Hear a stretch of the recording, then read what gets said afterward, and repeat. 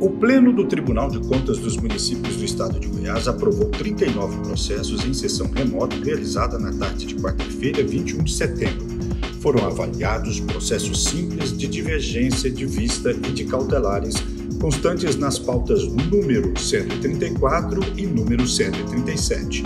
Presentes o presidente Joaquim de Castro, os conselheiros Daniel Goulart, Sérgio Cardoso, Humberto Aidar, Francisco José Ramos e Valceno Braz, os conselheiros substitutos Irani de Carvalho Júnior, Flávio Luna e Maurício Azevedo, e o procurador-geral do Ministério Público de Contas, Henrique Pandim.